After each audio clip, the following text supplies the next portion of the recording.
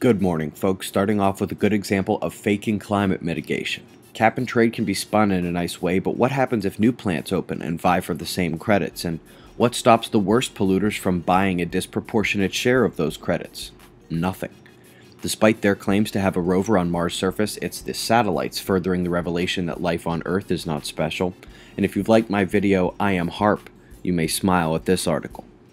Quake depression began nicely, only had this five pointer off the Chilean coastline yesterday. These do sometimes signal larger subduction quakes to come, however. Yesterday we reported the tornadoes in Portugal. You knew Spain couldn't be far behind that damage as they saw some wild wind and flooding of their own. Precipitation is likely along the cloud line next few days. Tropical cyclone number 3 formed in the northeast Indian Ocean yesterday will be headed for the subcontinent, but before she ever gets there, you remember the western side of cyclonic lows pull northern air down, and right now it's way colder than normal throughout most of India. Here's the intensity of that storm. Australian thunderstorms have been bad enough to knock out power in the far north, staying on the upper edge of that pressure boundary for thunderstorm watches to start the week. As you can see on the US wind map, all the air except the far southeast is headed north for that huge triple basin low pressure system that the Weather Channel can go ahead and name any day now. Rain records in both Alaska and California, eh?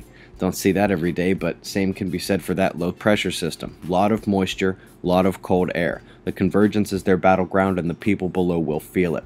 Something interesting, this low is expected to concentrate and shoot across the northern states after pinching off. If that happens, it's going to be one hell of a storm. Moving to space weather really grinds my gears when there's cosmic ray or muon data missing. Oh well. Remember yesterday the density of the solar wind was strongly elevated, causing multiple resonance inductions. Well, it's calmed nicely now, and so has the induction magnetometer. Hope you learned something about this chart the last three days. Flaring activity has been low as well. Let's hope it stays that way until our footprint and magnetic connections aren't tied to potential eruption zones exclusively. The Earth-facing sunspots are pretty much sharing the magnetic connections to Earth right now. A flare facing us might cause radiation storms at high latitude, so we're on watch with Mercury set to heliocentrically conjoin Jupiter in two days. Looking at the active regions, the sunspots up north are really the more dangerous ones. Going from left to right, we see little spots extended nicely with alternating magnetics. The central region has a smaller set above it and a potential delta spot trying to form in the center. For contrast to the first group, lots of little spots here, but the magnetics are easily separated left and right, meaning it's less dangerous. Two overnight eruptions, both small, this first one from the northeastern region and luckily headed away from Earth.